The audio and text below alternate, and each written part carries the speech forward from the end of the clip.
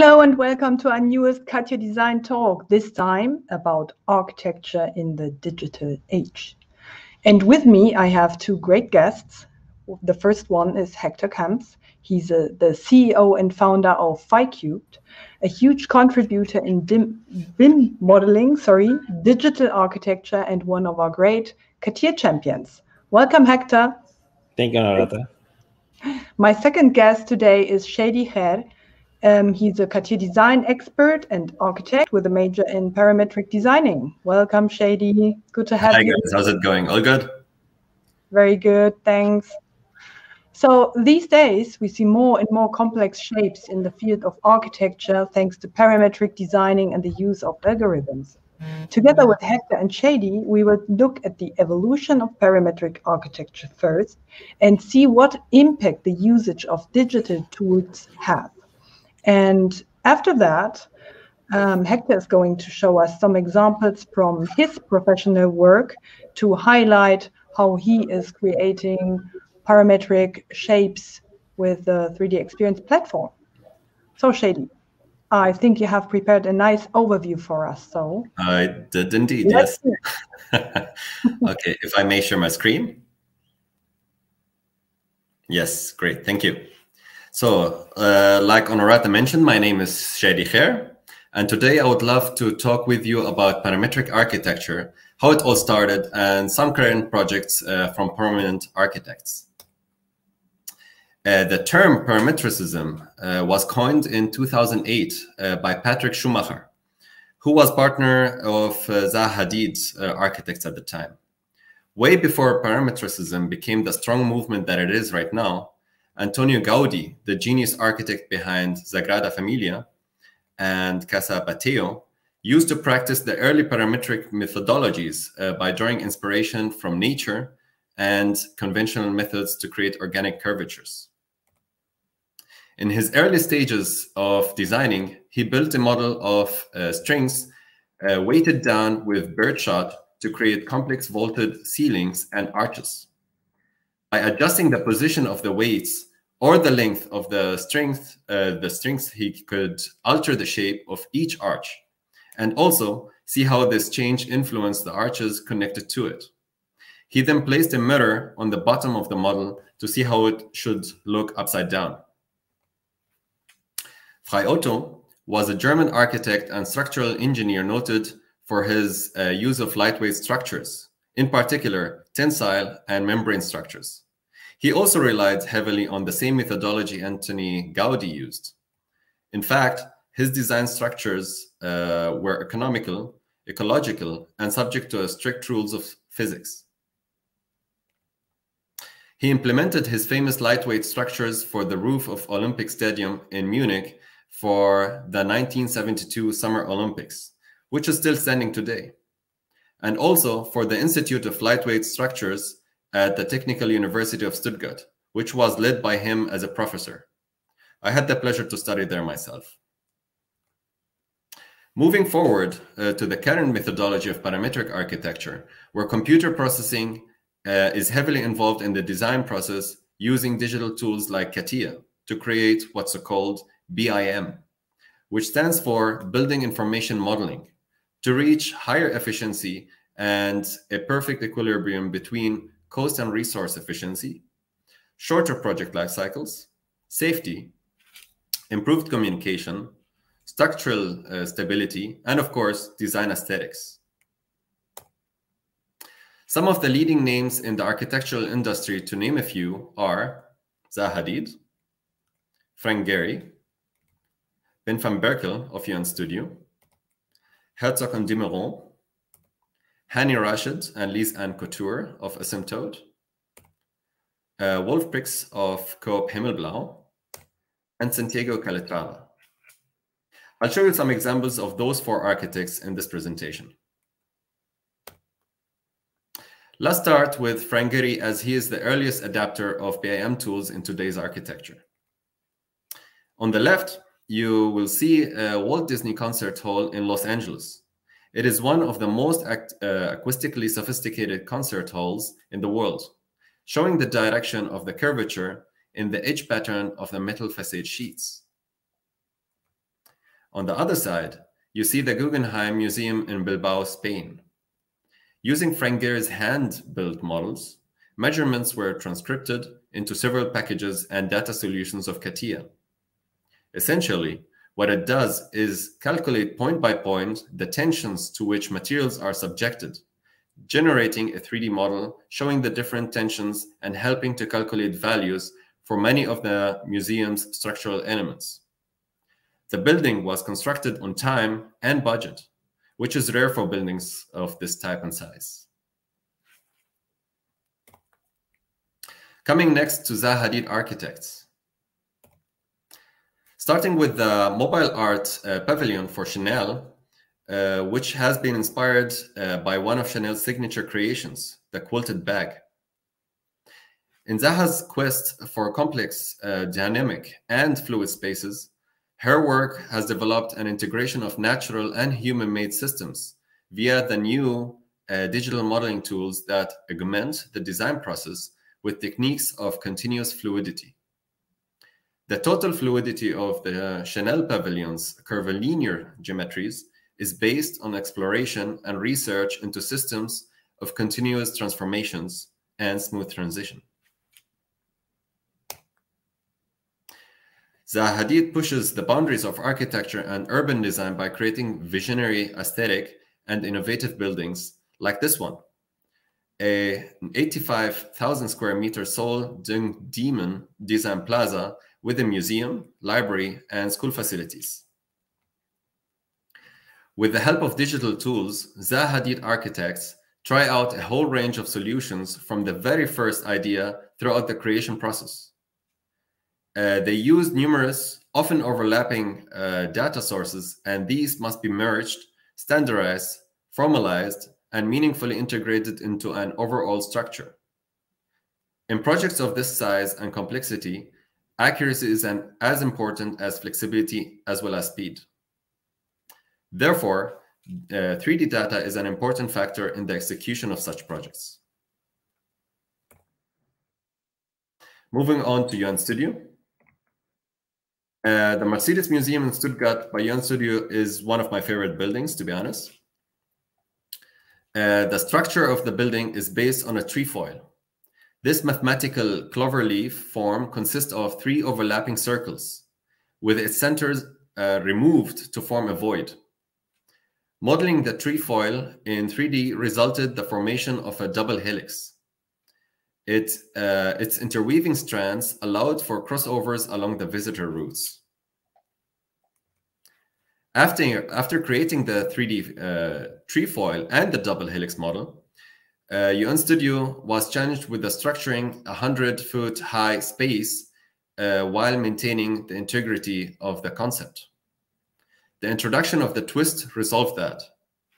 As an organizational element, the twist en uh, enabled fluid transitions between spaces.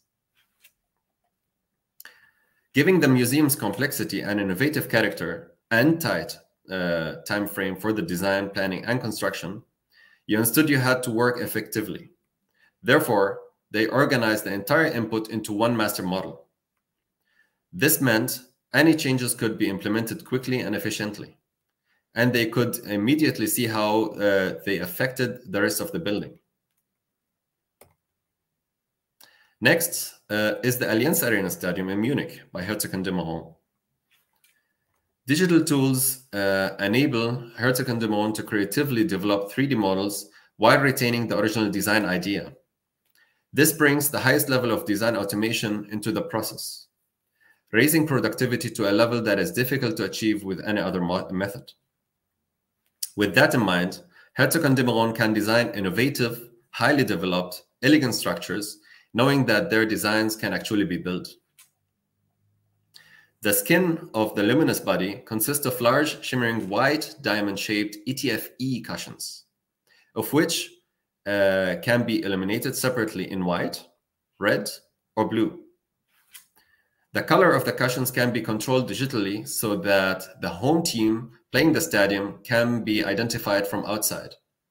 Red for FC Bayern and blue for TSV uh, 1860. The changing appearance of the stadium will enhance its attraction as an urban monument even for people who aren't interested in football. The next monument project, uh, monumental project uh, done by Herzog and de Meuron is the Beijing uh, National Stadium.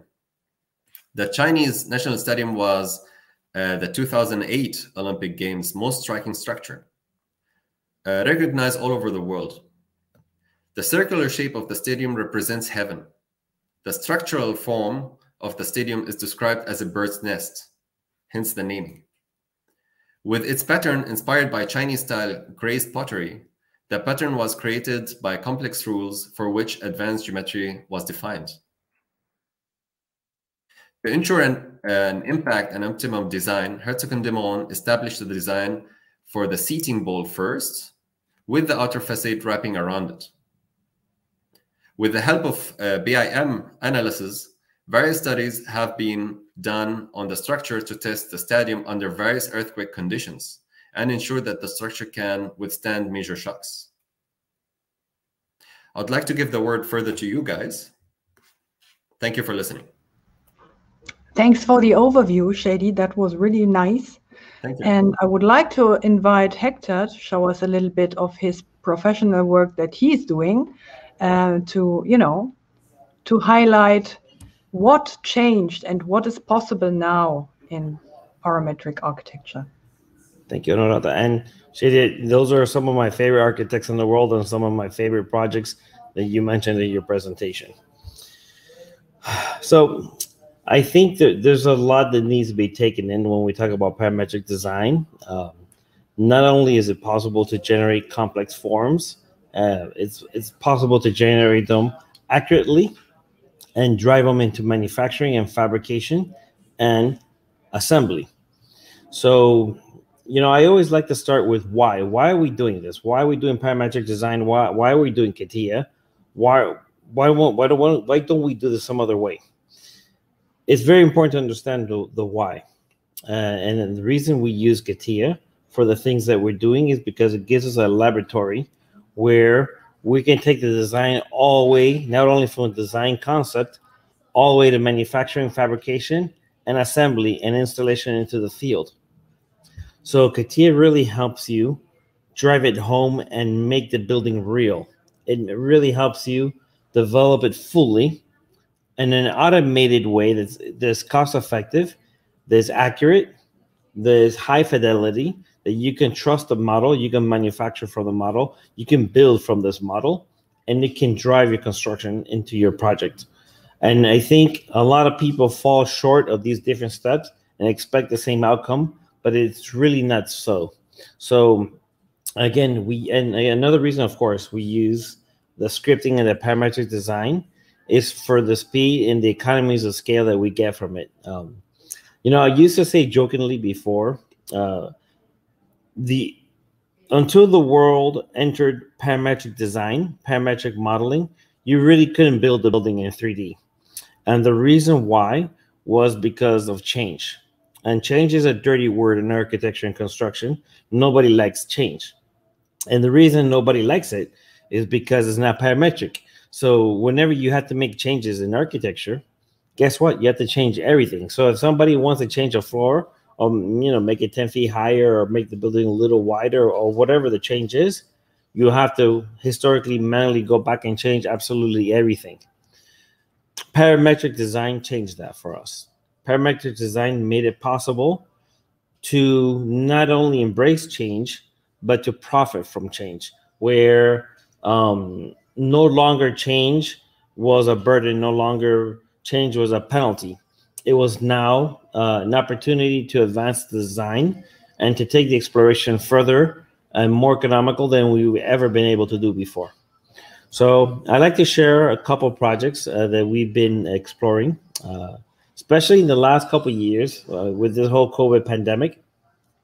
We, you know, we do a lot of research in architecture and design engineering. And so I'd like to share some of the research that we've been doing uh, with parametric design. Uh, so let me go ahead and share my screen here. Um, hopefully everything works perfectly and there's no issues. So I'm going to start with, um, let's see. I'll try this and hopefully it works. Oh, give me a second here. Ah, sorry. Don't, let me just um. Okay. So, can you see my screen? Uh, can you can I can I Yes, give we her? can- Yes, we can see your screen. Excellent. Works Thank you so much. All right. So the first project I want to show is uh this is from the Al Bahar Tower. So I'm just going to zoom in there, and I want to show you the complexity that's in this model. And you can see the level um, the level of detail that uh, we were able to achieve by modeling this in CATIA. And everything here is parametric, including the kinematics of the panel. So this is um, every component of the panel is modeled. Every detail, every every bolt is completely taken into account and part of the automation. So here, for example, you can see I can run. Um, I can run the panel up and down, and you can see how parametrically the panel changes. So I'd like to run a video to show you how we use scripting and programming to generate this model.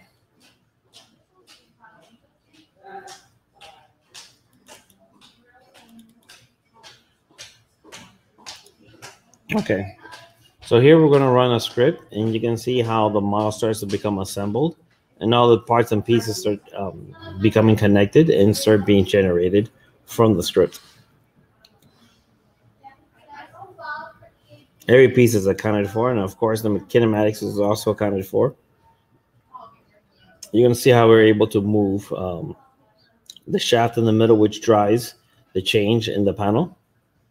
This is all from research on this project.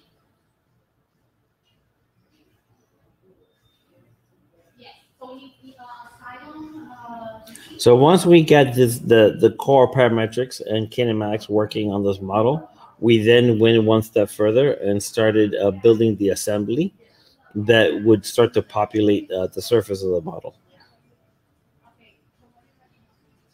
So here you can see how we then take the design and we start um, replicating it.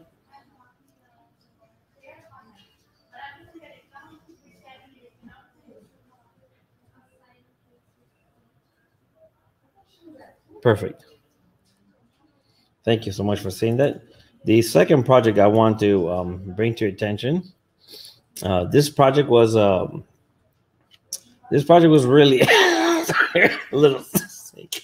I apologize. This project was um, a bridge done by Santiago Calatrava. It's in Bilbao, Spain, and for me was very um, kind of uh, dear to me because back in 2000 I had the opportunity to visit uh, Bilbao, Spain, and I remember coming across this bridge and being sort of mesmerized by it. It was such a beautiful structure, and I always wanted to be able to develop a structure like this.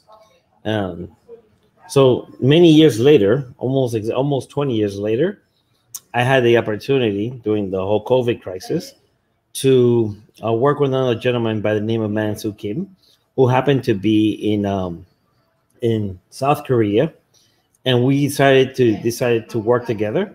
And me working from Miami, I built all the inputs for the project, and Mansu uh, developed the script, and we automated this bridge. Um, to give you an idea, the most of the structure was developed. Um, if you eliminate the prepping time that we did for it, once we had the script ready, I think we had the model completely built within a week. And uh, I mentioned this to the uh, dean of the School of Engineering here at Miami, and he struggled with this information. So what I did was we made a video of running the script so he can see how um, how this was generated, and that through scripting you can build a bridge, which is by the way from a world famous structural engineer. Uh, we were able to automate this and manage the complexity of the form. Again, if you look at the bridge, let me just show you here. If you look at it from the top, you see it has a little bit of a curve to it. It's not exactly. Uh, it's not. It's not flat. It has a curvature to it. As a uh, central structural element that goes across in a straight line, and then you have this barrel arch that goes across, and that gives you the structure.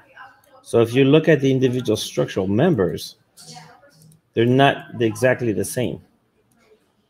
Each one, you'll see here from the bottom, each one is uniquely different. And this is the kind of stuff that we love from parametric design because it gives you the design freedom where elements are allowed to be repeated, but they're also allowed to be changed as they're repeated.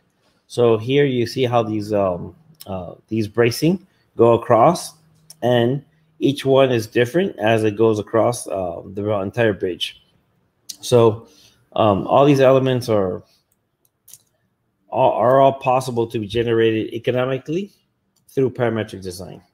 So let me go ahead and show a video uh, that we recorded of this process.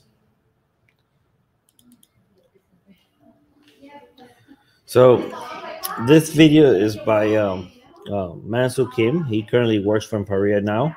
We presented this at Co. Uh, I'm just going to move it along just a little bit. Uh, I'm not going to make you watch the whole thing, but I just want to take you through a couple couple processes here.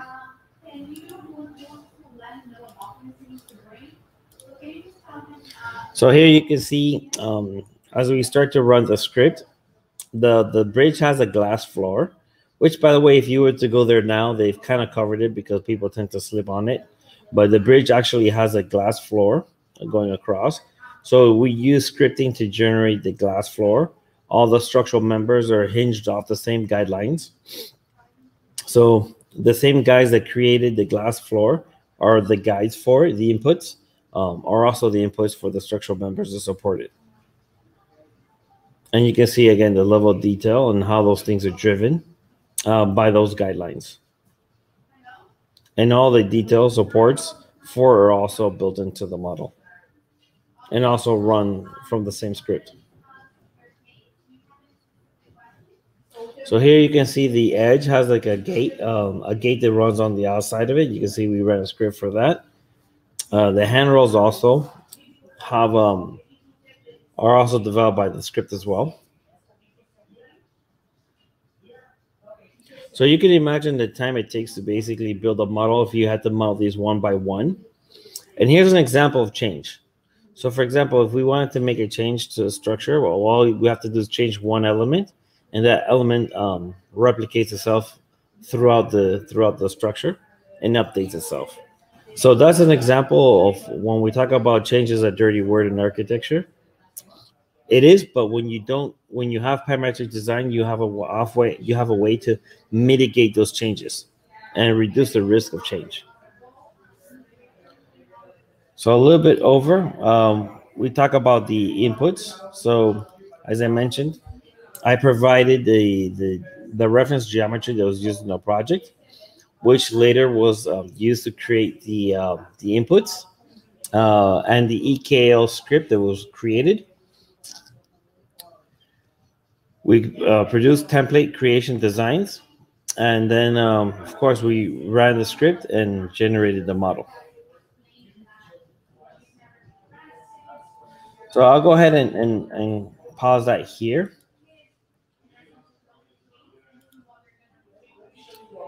Let me go back here. So, Honorata, do you have? I know you have some key questions you wanted to ask me. Yeah. So, basically, I really liked um, the model that you just shared on the 3D Experience platform, and we are receiving lots of comments here. Um, if this is all happening in the platform in real, and um, yeah, maybe you can say something to that. Um, because uh, I think what our audience doesn't know is that you can not only use CATIA on the 3D Experience platform, but all the other brands as well, like Simulia and 3D Excite and so on, and combine them and do whatever you want to your product, your assembly, design, and that's so right. Yeah, that's 100% accurate. Uh, there's a lot that people unfortunately don't know about the integrated platform of CATIA.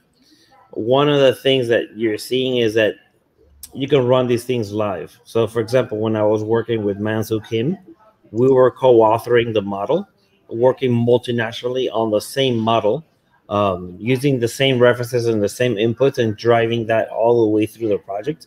So, yes, 100%. This model was a live model, and it was live at all times, and it was a central control for the entire project. So everything was coming off of the model. All the inputs were coming off the model, and they're not. The each input is critical because each input has an element that that drives the model. So then you know if you have a point and that point changes, it changes the model. So everything was um, created from a a design driver. They controlled the entire project. I built the design driver myself, and it wasn't very complicated. It had a few key forms of the geometry that drove the shape of the bridge, um, the main structure at the bottom. Once we had those main key drivers, everything else was built off of basically three main inputs.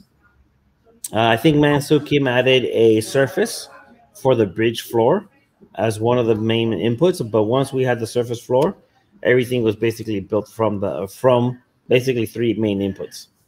That's great. Um, I think we need to um, add Shadi again to our stream because we are receiving some specific um, questions for CATIA, which I would like to blend in. Sure. Uh, so um, I, am just going to, to add uh, some questions and then we maybe can also talk about your views where uh, the parametric uh, architecture is heading to in the future and what you think how it's going to be used. Um, just very briefly, we have this one question that maybe you can answer best. So which software of the family of Dassault system is suitable for designing aircraft airframes and simulation of aircraft? Uh, good question, by the way. Um, I'd suggest that you, since uh, the future of the Dassault systems is heading towards the 3D experience platform, uh, you have the opportunity as a user to go to the 3D experience platform, have a role assigned to you, which will be dedicated to specifically designing aircrafts, and you get all the apps and all the tools that you need uh, in order to, uh, to to develop that function in that sense. Yeah, thanks. We have a nice comment for you, Hector. Um, I'm going to blend this in as well. Um, So um, it's about the uh, advanced usage of CATIA.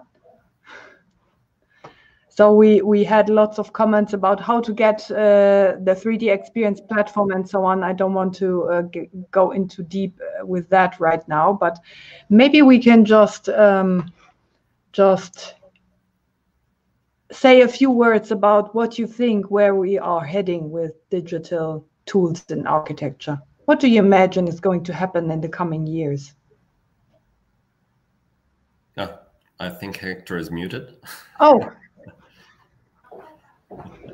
Yes, I think that one of the things that we're seeing is design. I keep I mentioned this a lot of my posts. We're seeing a lot of design freedom, where you know when I look at parametric design and what it could do for architecture, it's very liberating and I also think it expands the role of the architect. And I think that's a really great opportunity for the architect to get more involved with CATIA because it gets the architect reconnected with the world of construction, manufacturing, and installation. So um, I think it's really important for our architect to get connected back to the building, and these parametric tools help do that and help the architect remain in the driver's seat and in control of the project going forward.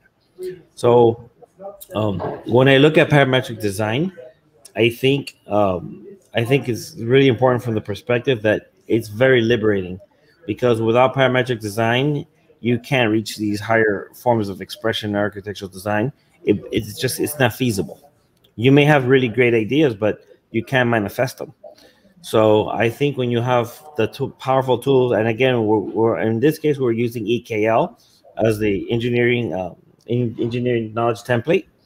But of course, you also now have Xgenerative, which makes object-based programming available. So we're seeing more scripting, more programming coming down the pipeline, which is going to be very liberating for the, for the industry.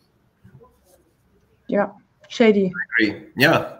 Uh, I agree with what Hector just said, and I would like to add up also the fact that back then architects uh, had uh, the issue that there's a, a, certain perfection in the digital world that cannot be implemented in the manufacturing world or the reality in that sense. And it seems like that gap back then was very huge and very like it's big, and now it's getting smaller and smaller. And the software is also supporting us also to even implement all of those manufacturing processes within this digital world and take it over to the manufacturing. So it seems like the architect have a huge control of the whole process from A to Z, and uh, it seems like the idea could be easily implemented. I'm very curious if this is going to change not only architecture as such, so if we will see different kind of buildings and so on, but also the the way it is built. It's actually built. I mean, absolutely, Honorata. With um, so if you look at what's happening right now in architecture and the cutting edge, you're seeing the introduction of 3D printing, and every day is making its way more into the physical world and less in the laboratory. And we're starting to see examples of buildings going up, either in part, in pieces, or in total, where the building is starting to become 3D printed and you're starting to see forms that were essentially impossible to develop before that new advances in technology again are starting to give us a form of freedom and liberation where these new designs are now becoming possible to be built um, so i think new forms of architectural expression are becoming available that otherwise would just be impossible to do even 10 years ago so i think we're going to see a very interesting world in the next 20 30 years buildings are not going to be recognizable. They're going to be a lot sexier, a lot curvier, uh, and their methods of construction, I think, are going to be wildly different than what we're doing now. And I'm really curious if we will get even more organic structures, like buildings are very, you know, and that's a bit boring. So maybe um, it's going to be much more interesting what we will see in the future. Yes, I think it's going to become more economical to develop more complex buildings. Uh, lots of people who've used CATIA in the, in the past have cited one of the reasons they've used it was to make those buildings economically feasible. Mm. Um, by taking out the cost of the unknown risk factors in developing these complex designs, I think the new tools are going to allow these buildings more complex designs to make it to reality uh, a lot more economical than we've seen before. So we're going to see more freedom of design enter the industry uh, in buildings that are not the world's top 10 most expensive buildings in the world. You know, we're talking about buildings maybe for $10 million, not $5 billion. So, yeah, that's going to be interesting. Yeah. I'm thinking of a very bad example in Berlin, you know, the new airport. Everybody's laughing at that one, right? I don't know what they have used for their project management. Probably not CATIA. no. okay. Um, as we are getting mostly questions on how to get CATIA and how to learn CATIA, I would like to all, all of you to invite you to the CATIA Creative Design and Styling community. Um, maybe we can show briefly the link here, uh, which is here. So just go join the community and you will see lots of tutorials and how-tos and tips and tricks. You can talk to experts like Shadi or Hector, who are also part of the community. And uh, the community helps each other. And um, even if you have even more questions after this talk, you can join the community. You can uh, watch the talk again and and start a conversation at any time. So um, for that, let me check. We have received some more. Um, what do we have here? So CATIA has the potential to model every nut and bolt in an entire building and have the assembly inside of one model. Moving forward, digital twins is becoming more common and 2D is getting pushed aside at the way. Yeah, for sure and the, yeah. the digital twin in whatever is produced in the future will get more and more important because it saves lots of uh, you know time costs and energy for sure. Yeah. You know, some of the work that we're doing now is uh, we're actually working with Dassault on a project at Miami International Airport, where we're in the process of developing a digital twin of the of the airport and the new central terminal, and we're connecting the airport to the virtual asset. So using um, uh, IoT, we are Yeah. or the Internet of Things. We're now connecting the physical building to the virtual digital twin, so the two can talk to each other, and we're able to monitor and do all kinds of really advanced things that I'm very excited about. Maybe maybe we can talk another time. We can talk more about that when we're further downstream on that process. But we the airport is looking forward to doing this, and I can't wait to connect everything to the digital model. Uh, It's a Yeah. long-term achievement of mine. In fact, uh, Hector, if I may mention, uh, this kind of examples is already implemented with the Allianz Arena. Uh, the lights, the LED lights that I've mentioned, are connected with the digital twin, and that's how actually they operate all the colors. That's fantastic. Yeah. I have another question here from the chat. Understanding technologies of 3DEXPERIENCE will be taking time, what people said. How can more people understand and use it? Shadi, that's one for you, I think. Well, it's um, uh, as as a user of uh, CATIA, yeah, once you have an, the introduction to the software, usually you have some sort of an uh, education portal to to to, to use it.